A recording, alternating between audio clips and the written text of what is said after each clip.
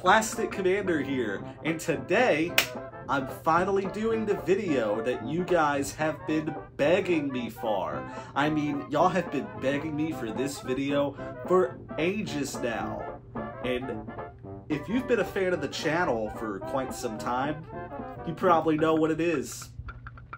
That's right, today's video is top 5 toy army men most likely to be thrown out of a Chili's because of public intoxication. I know, you know, hold the applause, hold the applause, hold the cheers. Okay, I know I deliver uh, what the fans want. So without further ado, let's jump right into the video and talk about the top five toy army men most likely to be thrown out of a Chili's because of public intoxication.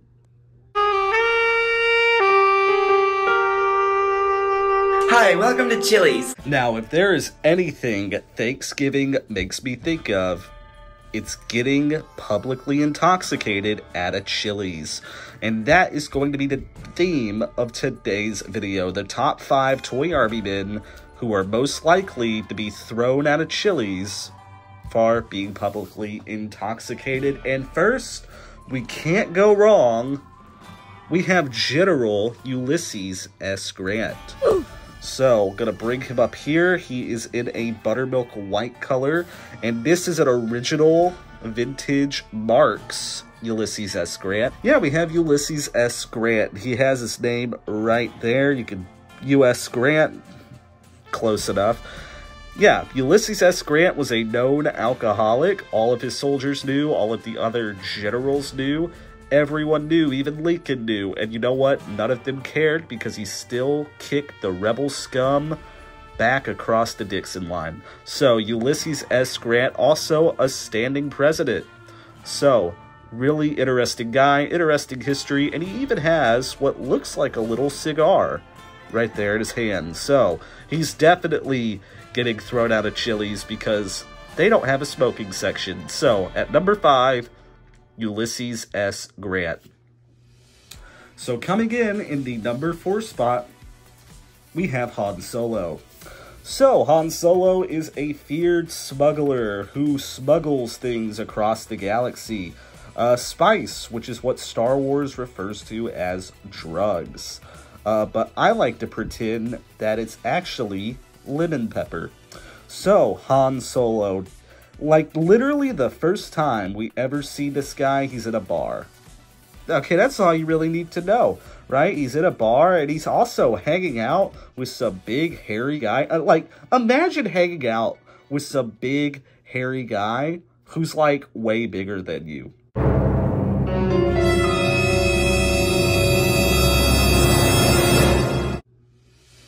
Couldn't be me, I'm built different. But yeah, he would definitely be thrown out of Chili's. Like, definitely. And he would probably leave and drunk drive the Millennium Falcon uh, back to Mos Eisley. So, at the number four spot, we have Han Solo. So, counting down at number three, we have just Eddie Russian. That's right, just any of them. This guy, this guy, this guy back here.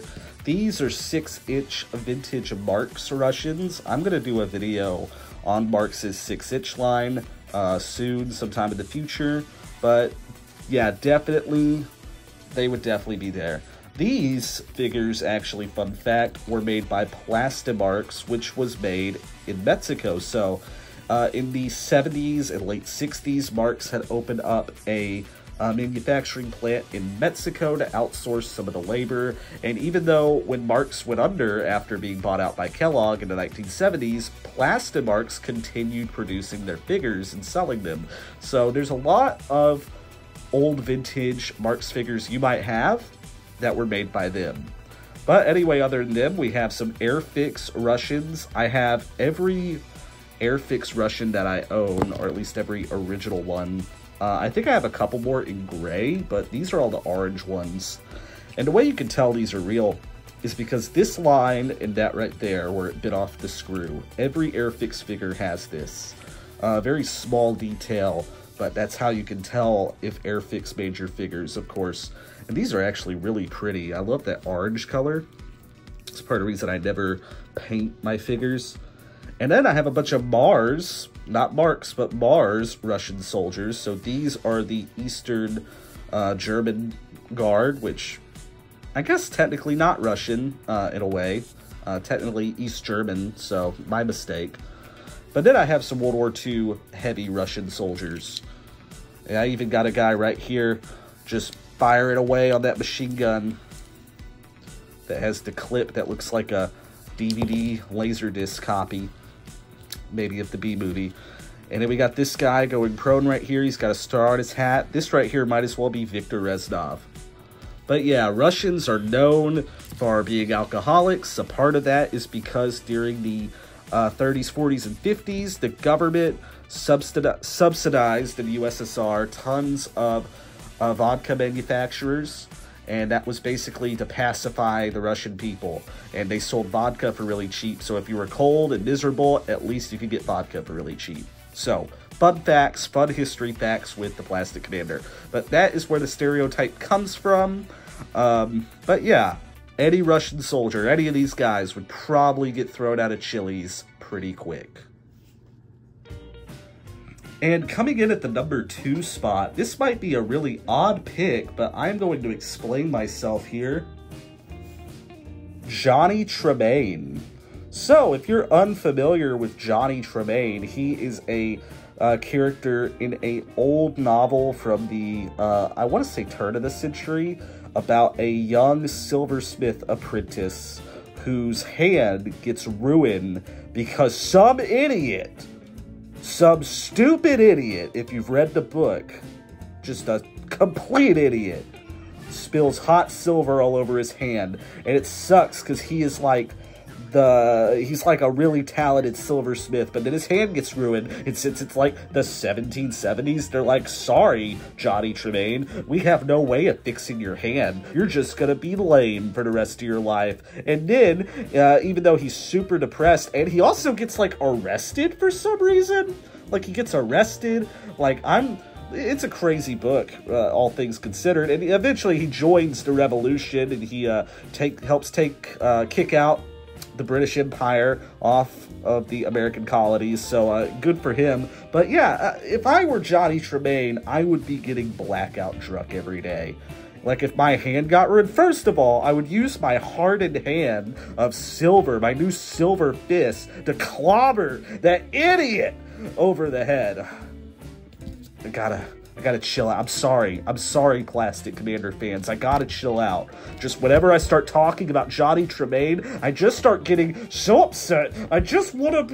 Oh, coming in in the number one spot, we have these three construction workers.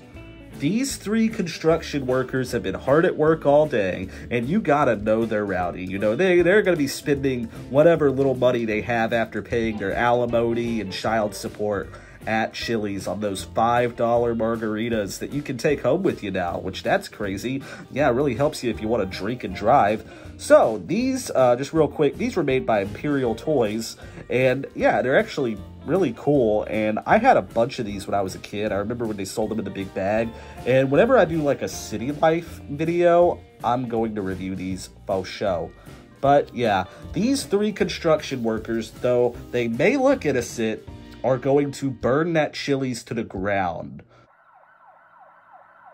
So honestly, it's not really accurate to say they're going to get thrown out as much as they're going to destroy the Chili's and everyone in it. But luckily, they're construction workers so they can put it all back together again. So, that is going to conclude today's video of He Fell Over.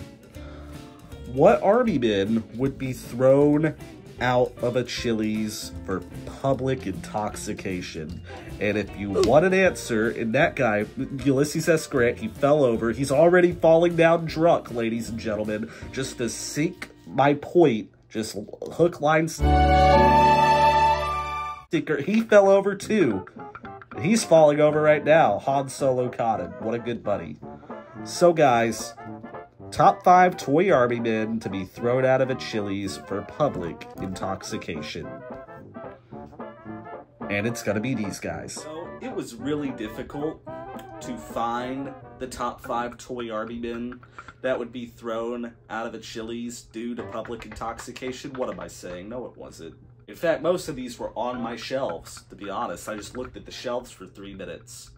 But anyway, guys, that is going to wrap up today's video. Thank you all so much for watching. Make sure to like, comment, and subscribe. Uh, we're going to go ahead and have a Q&A video here in the next couple of days, so that's going to be super duper exciting. On top of that, join the Discord. The Discord is at 130 members, which is insane. I never thought it would get that big, and it's still growing strong as ever. I'm not only on there, but other YouTubers are on there, like Army Stop Motion. So if you want to chat with and me and a bunch of other people who love toy soldiers and toy army men, definitely go check it out. Not to mention, if you guys have been keeping up with the channel, y'all have noticed that I've been streaming every Friday and Saturday at roughly 7 p.m. Central Time, and I plan on continuing that trend because y'all seem to really like the streams. So if you want to go over there and pop in and say hi, go ahead and do that. I love seeing people trickle on in where I just uh, do a lot of Lego building, I do a lot of painting, I do a lot of different freaky stuff when I'm over there. So definitely go and check that out. But anyway, guys, that's going to wrap it up for today's video. Thank you all so much for watching. I'm the Plastic Commander. Bye. Mission accomplished. Well done, man. Pack it up. We're going home.